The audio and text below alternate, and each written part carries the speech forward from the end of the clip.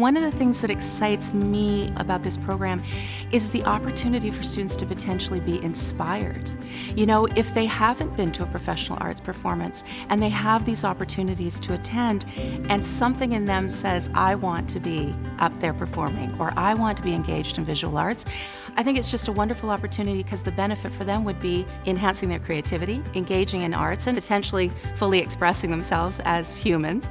We know that a lot of children don't have an opportunity to go to arts programs. And so the fact that they will be able to see professional artists in a wonderful facility like the Arts Center in Milton, it's just a, a fantastic opportunity to really promote arts and culture within the community.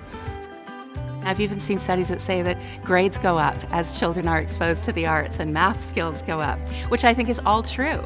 And so I think that, you know, all of those sort of very tangible benefits can come from a program like this.